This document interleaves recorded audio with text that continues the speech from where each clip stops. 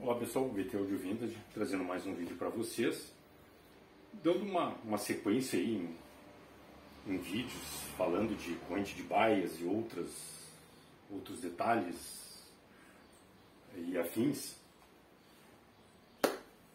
Vamos falar do gradiente A1, corrente de baias e outros detalhes. Bom, uh, detalhe né, uma, observação.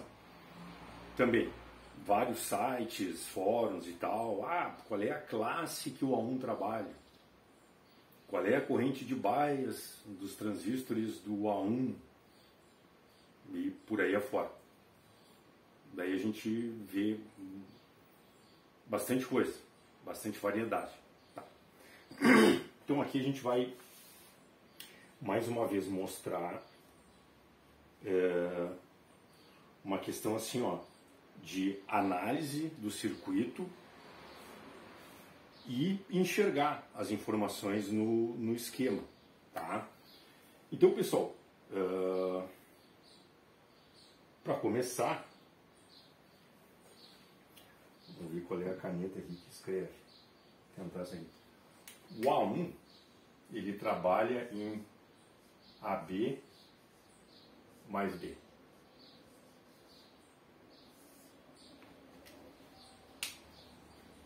Tá, por que desse jeito aqui? Bom, pessoal, eu fiz um desenho aqui, ó, só é, de um ramo, o ramo positivo tá, da saída do A1, porque devido ao espaço aqui, a gente percebe que se se fosse dobrar esse desenho, ou seja, botando o ramo negativo e dobrando o ramo do VI limiter, bah, ia ficar uma confusão isso aqui. Então, já, uh, quem estiver olhando o vídeo, imagine que tem um ramo desses aqui, só que claro, com transistores PNP, por isso aqui os pontinhos ó, nos ramos de interligação, ou seja, o ramo negativo, ou seja, que amplifica o, o, o sinal negativo. E o V limiter também, eu botei só a metade dele, ou seja, a metade que trabalha com o ramo positivo. Isso aqui também dobra, claro, com polaridades uh, invertidas quando necessário, né, no ramo negativo. Bom, feitas essas observações, então tá aqui, ó.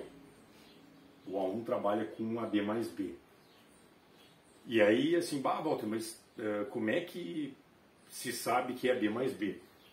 Uh, uma, quando a gente olha o esquema e analisa ele, tá, estou com o esquema do ON aqui, inclusive eu estou com uma placa aqui do, uma das placas do A1 Transformer. Tá. Uh, quando a gente analisa o, o, o circuito tá? vê o esquema e, e, e, percebe as informações, a gente vai ver que essa informação está aqui, está aqui no esquema, e é o que a gente vai, vai falar agora. Tá? Bom, pessoal, eu recuei aqui o meu desenho, que é o, o que faz o, o ajuste de baias do A1. Tá? Verdade, o ideal é que ele ficasse aqui, mas é aquela questão, né? A gente se adequa aí às necessidades. Então ele está aqui. Aqui, esse transistor é o meu amplificador de tensão. E daqui para cá, ele entra no triplo Darnton, né? Ou seja, emissor na base, emissor na base. Então eu tenho um triplo Darnton aqui, que é justamente para dar bastante ganho e fazer a saída despachar. Tá? Aqui nós temos um capacitor entre base e coletor desse primeiro driver, vamos dizer assim, do, do, do meu triplo Darlington. Isso aqui evita que ele oscile. Tá? Aqui, tá, digamos assim, um segundo driver é usado o mesmo transistor, tá? 2SD 665 que os três drivers lá da, da saída. Pessoal, já falei, mas o, o par do A1 é o 2SD665 e o 2SA645. Tá. Bom, uh, por que desse arranjo aqui? Pessoal, vamos começar, em primeiro lugar, essas informações são valiosíssimas. Esses níveis de tensões DC que está aqui no esquema, que aparece no esquema. Tá? Por quê? Porque, pessoal, eu, eu, já de cara o fabricante já está me dizendo quanto é que eu tenho que ter aqui. Então, se eu for fazendo medidas pontuais aqui e, e eu, e eu pegar valores diferentes, tá? Até porque bah, essa cópia que eu tenho aqui não, não tem observações. Mas normalmente o fabricante ele especifica ah, as tensões com nível tanto de entrada, com tolerância de tanto. Tá? Mas, pessoal, também usando a questão do bom senso, análise, proporção, enfim, lei de Ohm, quando a gente vai medindo e analisando, a gente também já vai tirando uma ideia, mas aqui a gradiente já mastigou, bah, isso é show de bola. Por quê? Porque olha aqui, ó, na base do meu transistor que controla o bias, a gradiente me diz que eu tenho que ter menos 1 volt. Aí lá, no coletor do amplificador de tensão, que está largando o sinal na base do meu primeiro driver do, Dar, do triplo Darton, ele me diz que eu tenho que ter mais 1.6 Consequentemente, tá? se no meu VBE aqui morre 0,6, o que, que eu tenho que ter aqui no emissor? 1 volt. Então eu tenho 1 volt na base do segundo driver aqui, do triplo Darlington. Se eu tenho 1 volt aqui, o que, que acontece? Ah, vai faltar espacinho. Meu VBE, as minhas canetas estão tudo de greve é, meu, ó, melhorou, meu VBE também morre 0,6, né? Se eu tenho um aqui morrendo 0,6, me sobra o quê? 0,5. Então, tá aqui as dicas. E aí, pessoal, um detalhe importante. Nos emissores tá, dos transistores que estão lá na saída, que são os caras que vão despachar quando o bicho pegar, ou seja, quando eu começar a dar potência, o que, que, que, a gradiente ressalta aqui assim, ó, ela aponta aqui para o emissor nos três e me coloca zero volt. O que, que vai acontecer? Pessoal, se eu tenho um volt aqui, derruba 0,6 e tenho 0,5 aqui, se eu tenho 0,5 na base desse cara, vai derrubar 0,6, vai faltar gente para fazer ele conduzir, então eles estão cortados. E quem confirma isso é a própria gradiente me largando ali 0 volt. Tá? Então, eu consigo mapear aqui, ó, ah, quanto é que eu tenho que ter aqui no meu ajuste de bias, menos 1. Quanto é que eu tenho aqui? 1,06. Então, no momento em que eu vou ajustar a corrente de bias do A1, se eu monitorar esses pontos aqui, eu vou ajustando aqui, na verdade a gradiente bota um resistor fixo, eu botei como X aqui, tá? Mas poderia botar um trimpote, tá? Talvez ela no, definitivo, na linha de produção, ela não quis botar um trimpote, talvez para evitar problemas de mau contato, alguns problemas inerentes aos trimpotes, mas enfim, tá?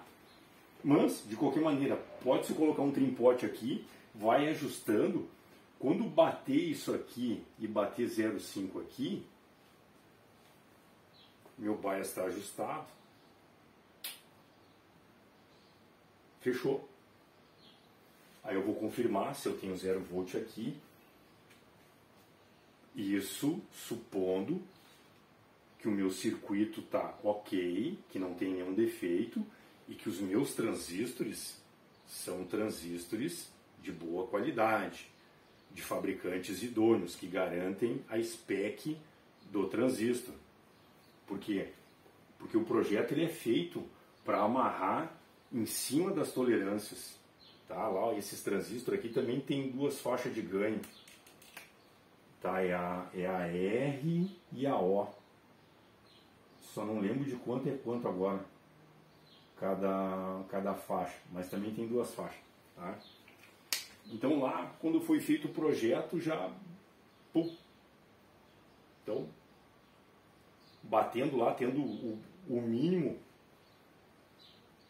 né, no qual eu já, já calculei o ganho, vai, vai fechar. E acabou. Por isso o AB mais B. E por isso esse cara aqui ó, é igual a esse aqui. Por quê? Porque esse cara que vai trabalhar em AB. Esse cara aqui trabalha em AB. E esses três caras aqui trabalham em B.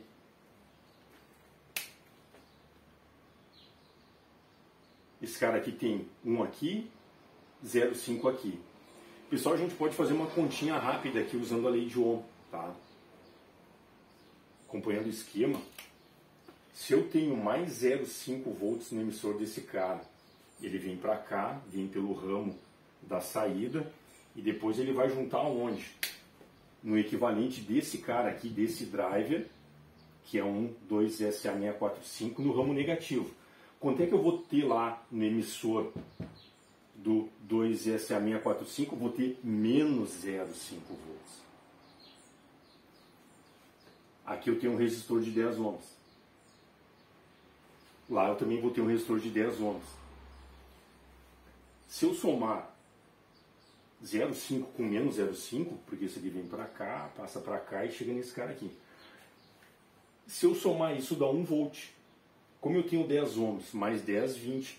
Pessoal, se eu botar esse 1 volt em cima dos 20 ohms, vai me dar 50 mA, que é a minha corrente de bias aqui do meu estágio do, do AB. Tá? Então, nesse ramo aqui vai circular mais ou menos 50 mA.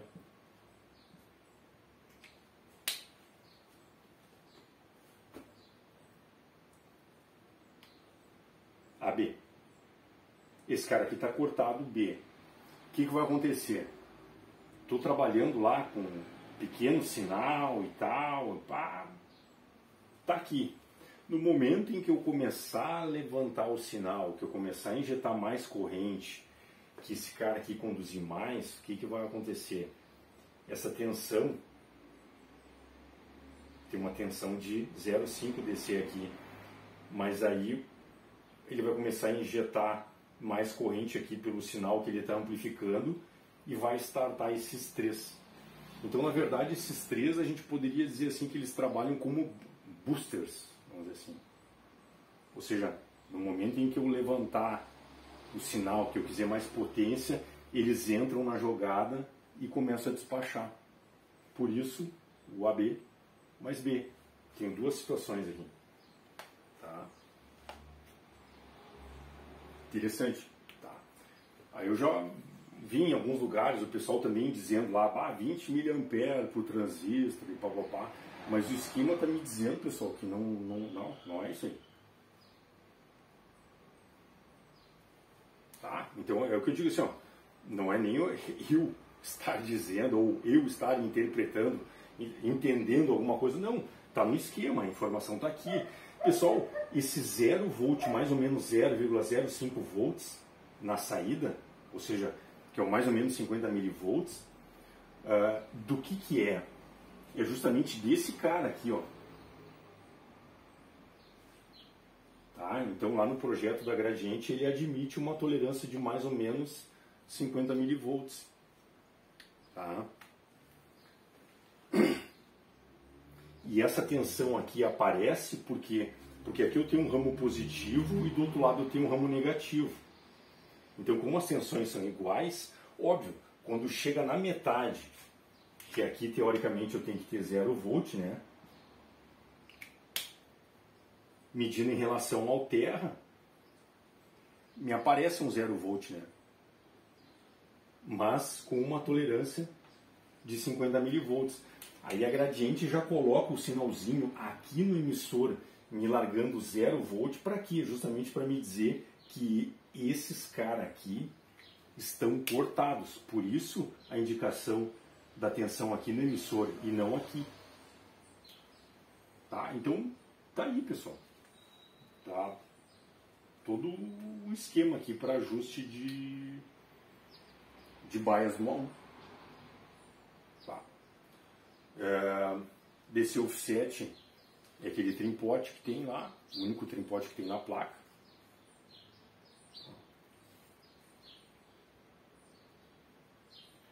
Cadê? Ah, não tá. Que é o, aqui eu, eu tirei ele. Que é o R. 300. Aqui tá borrado. Qual é o R? Vamos ver aqui. 307, tá? Que é o trimpote que vai aqui, ó. Tá? Tá 100. Aqui eu ajusto descer o 7, tá? Aí lá no, no transistor de bias tem, tem, tem a polarização dele e tem um resistor lá que até no esquema aqui, ó, ele não tem identificação, que é montado em cima de uma de duas, duas dois terminalzinhos. Por quê? Porque depois que eu acertar o valor com o trimpote para fechar essas tensões aqui, eu pego aquele valor que eu li no, no trimpote e boto um resistor em cima, tá? Tem, tem algumas manhas aí, pessoal, que a gente pode fazer para pegar um valor de resistor e deixar ele cravadinho com um jeito que a gente do valor que a gente descobriu no trimpote. Ah, digamos lá, eu, eu peguei o trimpote, varri o trimpote e eu vou ler lá a resistência que deu nele, deu vou chutar aqui 101 ohm. Não tem resistor de 101. Tá? Daí o que, que eu faço? Tem umas manhãzinhas, mas aí eu explico isso aí numa, num outro momento. Tá? Na verdade, tem, tem outras jogadas que aqui, na questão de manutenção, de restauração, a gente pode fazer tá? para melhorar, até para facilitar a vida desses ajustes. Ok? Uh... Mas tá aí, pessoal. Pessoal, em vermelho aqui eu desenho o V-limiter Tá? Mais uma vez dizendo, é, é só o ramo do lado positivo. Então a gente já nota que é um circuito diferente do H2. Tá?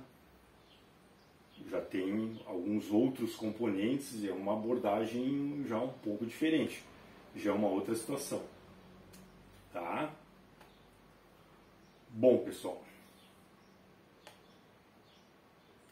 Eu acho que de momento era isso. Tá? Uh, dúvidas, só postar ali no canal.